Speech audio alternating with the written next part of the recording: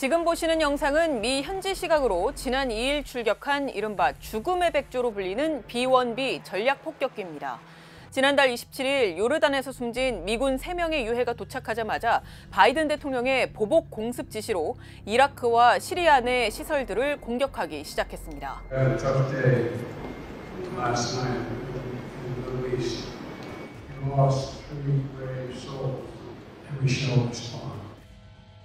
목표는 이라크와 시리아에 주둔 중인 이란군과 현지 민병대 기지 7곳 총 85개 시설이었습니다. 미 국방부는 추가 공격도 예고한 상태입니다. This is the start of our response, and there will be additional actions taken. 바이든 대통령은 과연 중동 확전을 감수하면서까지 보복 공습을 계속하려는 걸까요? 바이든 행정부가 추가 공습을 예고하긴 했지만 그렇다고 중동의 확전을 원한다고 보긴 어렵습니다.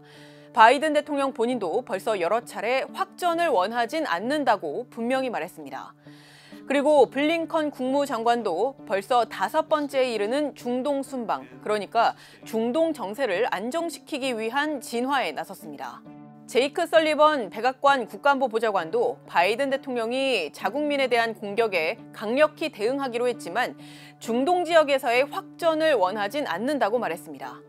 실제로 미국의 공습 상황을 보면 이란에 대해서 계속 경고는 하고 있지만 이란 본토에 대한 공격 가능성은 매우 낮다는 분석이 나옵니다. 이란과의 중동에서 전면전을 하는 것은 너무나 위험이 크고 바이든 대통령 선거에 전혀 도움이 되지 않을 것이다. 특히 이제 유가 측면에서 이미 지금까지의 중동 상황만으로도 글로벌 선사들은 기존 홍해를 통한 경로 대신 아프리카 대륙 우회로를 택하면서 운송이 지연되고 있습니다. 최근 테슬라와 볼보 등 여러 기업들도 홍해발 물류 차질을 이유로 유럽 내 공장에 대한 일시적인 생산 중단을 발표하고 있고 국제 유가도 중동 분쟁이 확산하면서 지난달 들어 70달러 후반까지 상승하는 추세를 보이고 있습니다. 지금도 이런데 만약 확전이 된다면 당연히 유가에 미치는 영향도 더 클 수밖에 없습니다.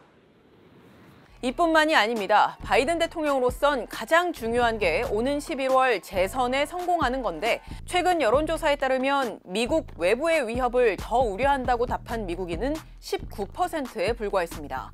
나머지 81%는 글로벌 위기보다는 국내의 위협 요소를 더 신경 쓴다 이렇게 답했습니다. 그렇기 때문에 바이든 대통령으로선 미국 외부의 상황보다는 하루라도 빨리 국내 상황에 더 집중하는 게 필요한 상황입니다. 계속 중동 정세가 악화돼서 이 이슈에 발이 묶여 있으면 트럼프 전 대통령을 비롯한 공화당 지지층으로부터 정치 공세를 계속 받을 수 있기 때문입니다. 미국 현지에선 백악관이 가자 전쟁을 반대하는 미국 내의 젊은 유권자들을 잃을까 봐 매우 우려하고 있다. 이런 보도도 나오는 상황입니다.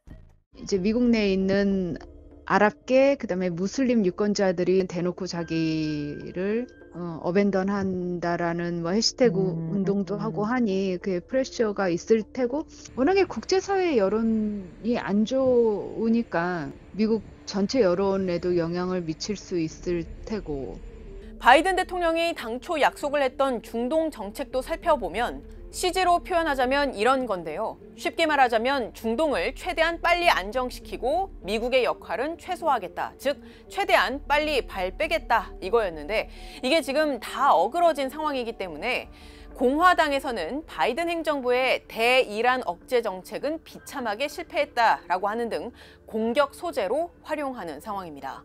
이란의 핵 합의도 이제 만들어 놓고 사이가 별로 안 좋은 걸프 산유국들이랑 이스라엘 사이를 좋게 해놓고 그러면서 조금씩 우리의 역할을 줄이고 중국을 견제하기 위해서 아시아로 돌아온다 라고 얘기를 했었죠. 중동을 떠나서 아시아로 돌아오겠다.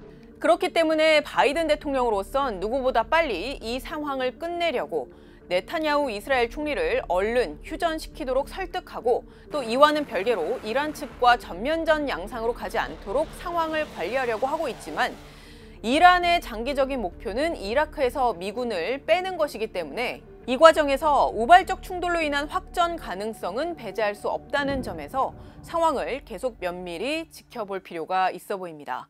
지금까지 뒷백이었습니다.